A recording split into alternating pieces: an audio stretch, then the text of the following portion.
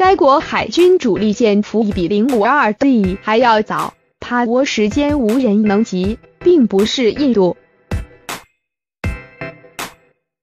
以前印度海军常被人笑话，比如加尔各答级的缓慢建造进度。如今被笑话更多的不是印度这个国家的海军主力舰服役比零五二 D 还要早，性能指标也先进。可惜状态不佳，一直引人笑话。这就是英国的四十五型驱逐舰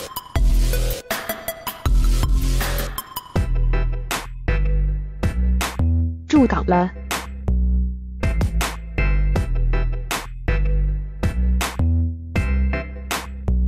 这是英国海军历时二十年打造的一款新型战舰，单舰造价十亿英镑，绝对谈不上便宜。性能也被认为非常先进，可惜较真的话，这款满载七千三百五十吨级的战舰还不如零五二 D 火力强。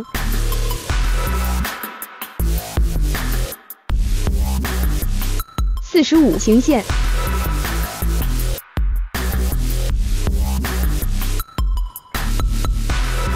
四十五型驱逐舰又称勇敢级。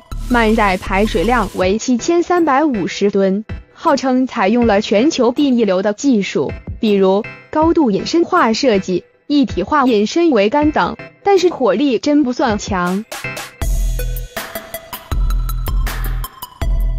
只有四十八个垂发单元，仅相当于零五二 C，与零五二 D 的六十四个单元有不小的差距。所配的导弹只是紫菀防空导弹。即便为射程最远的紫管三十型，有效射程也只有八十公里，不及红旗九早七型。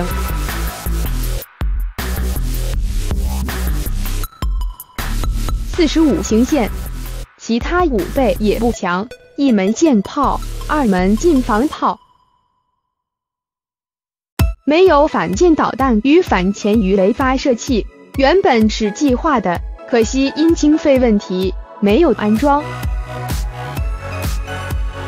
以后能不能装也是问题。按英媒的说法，因经费问题，可能十年内都不会安装反舰导弹。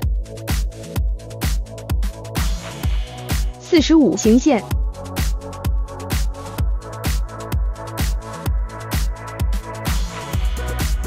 如果仅仅火力弱一点也不算什么，真正的问题。该舰级一直是可靠性不高，长期处于趴窝状态，一度出现全部六艘四十五型驱逐舰集体驻港，以至于驻港时间无人能及。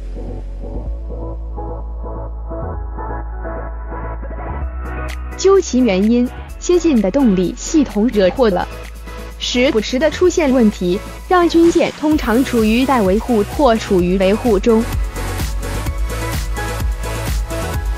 四十五型舰，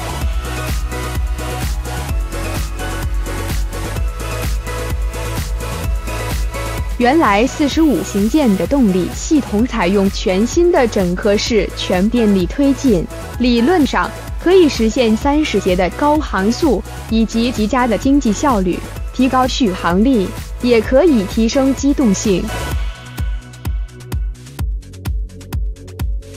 但是在实际应用中，发现了不少问题，主因为新技术不成熟性，在没有进行大规模试验的情况下，直接将其上舰，自然为各种问题所困扰，比如电力推进系统可靠性差，甚至一度出现在温暖海域无法正常运行的麻烦等。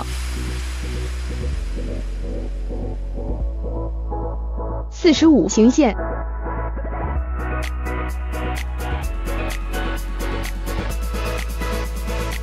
这类问题只能算麻烦。